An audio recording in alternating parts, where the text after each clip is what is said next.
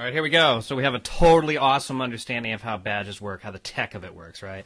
We have an understanding of the concept of badges and uh, what the idea is behind it. Now all we want to do is we want to use them, right? And if you are an individual classroom teacher, there's no better place to start than your classroom. We generally have control over what happens in our classrooms. We can have some control over the tech in our classrooms. We don't need to ask anybody's permission. We just need to go for it, right? Okay, let's do that. I mean, badges are great. Why would you want to go for it? So, you need to brainstorm some ideas. Come up with some uh, ways that you can use badges in the classroom. Again, here are some we use at Concordia. PE teachers use it for running the mile, for doing push-ups, for doing sit-ups, for reaching some sort of objective number. Uh, the grade 8 team uses it. They do a lot of filming. And if somebody becomes uh, an expert at camera angles, let's say, for example, they get a badge for that. The grade 5 team uses badges to get kids motivated with typing. Pretty cool. They hit 40 words per minute, 25 words per minute, they get a badge. Fifth graders love this stuff. Also, if they work in a service organization or if they get 100% on their math facts or something like that, we created a badge for that. Great. Uh, the elementary school uh, has a bunch of tech coaches. They have a professional development program going on, and if teachers, and I think you've seen these badges, uh, pass some of the classes, finish classes, put in various efforts, whatever, they get a badge. It's funny to watch teachers. They really like badges. Kind of remind me of fifth graders. And that's okay. That's what we love about teaching. It's fun.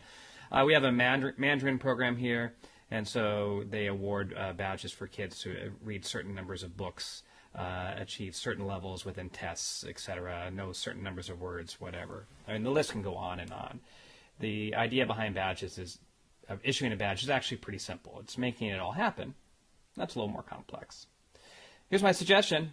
Start with one badge, something simple, something easy. It can even be member of my classroom, whatever you can think of. Or maybe something uh, objective, again, like uh, passing a certain number of uh, daily or language tests or math tests or, or whatever you want to do. Something that kids can aim for and shoot for.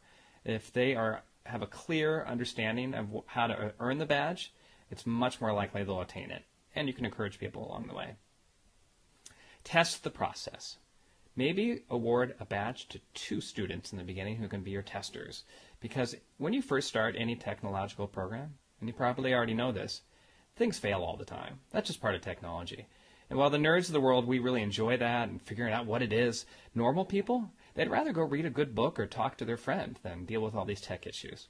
So rather than rolling it out for your entire classroom at one time, perhaps you'll want to test the process, test the badge with just a couple kids to work through it, and then once you're confident, you can move on from there. Then you can always add more badges later. Here's some more of the badges that we have at Concordia. You can see the ones from the PE department here, sit and reach.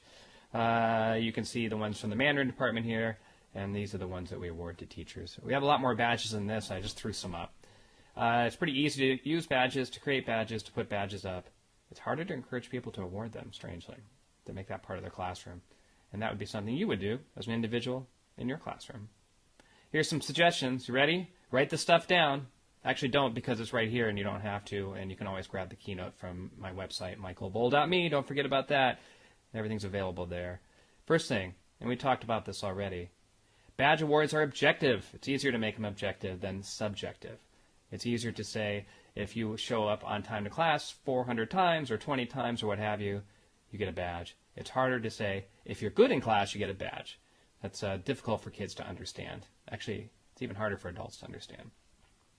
Make it a valuable currency. So, you know, the dollar, or for example here, so I'm in China. Let me pull out my wallet here. So in China, we use something called the RMB or the renminbi, and this is it here. And if you think about it, it's just a piece of paper. Same with the U.S. dollar. It's just a piece of paper. But we have faith that this currency, that this has some currency, that this has some value. So since so many people have faith, I'm able to use this for transactions, right? It's the same thing with badges. You want badges to be a valuable currency. That getting the badge is a big deal. If you make it too easy for everybody to get every single badge, then it's not as valuable and people won't want to jump to get it. In high school, they give letterman letters like letterman jackets, right, for if you're on a varsity sport. It's not that easy to get one, and therefore, the people who get it, they wear that that uh, varsity or letterman jacket around and show off and say, "Look at me! Look at these uh, uh, awards that I got. I am cool. And then everybody else looks at it and says, yeah, that person's cool. Uh, I do suggest making it easy to get the first one. It's sort of a gaming technique that everybody can get it pretty easily to get them excited and let them know that it is possible to get badges. But make sure it's harder to get future ones. And you'll want some also that are way at the top that very few kids can achieve. Those will be the ultimate ones for people to strive for. Those will be the ones everybody will want to show off. Think about the military. Congressional Medal of Honor, number one badge, right? You have to do an incredible number of things to get there. Very few people get it. In fact, most people get it posthumously after dying. So that sort of one, when it's given, is a big deal. It makes the news, etc. Same thing with your badges. If you have one or two that are really hard to get, in addition to easier ones, as kids level up, it'll make it that much more interesting for them. Ensure that the badges are easily displayed. So we've talked about that in some of the tech, but the kids have to be able to display their badges. You can have them print up the certificate, the badge, whatever, so that they can display it directly in the classroom and also have it digitally. It's not like it's mutually exclusive and you have to have one or the other. But people need to be able to show off what they've earned. Otherwise, that currency area here isn't as valuable because you can't tell anybody about it. Introduce new badges, new badges on a regular basis to keep excitement up. Sometimes uh, kids will feel like they can't achieve a badge and they just sort of give up.